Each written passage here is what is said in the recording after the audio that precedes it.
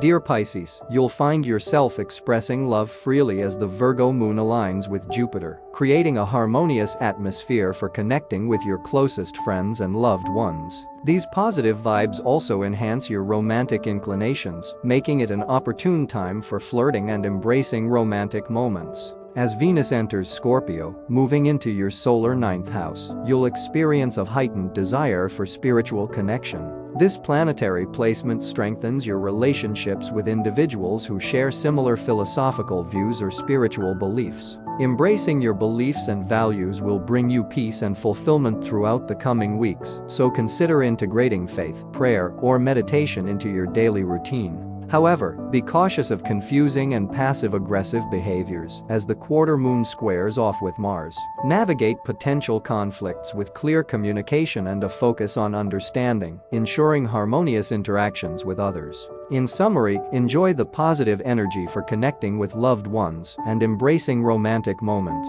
Explore and strengthen your spiritual connections as Venus enters Scorpio and navigate potential conflicts with clear communication and understanding. Thank you for joining me today. Be sure to like and subscribe if you enjoyed this, and I hope to see you tomorrow.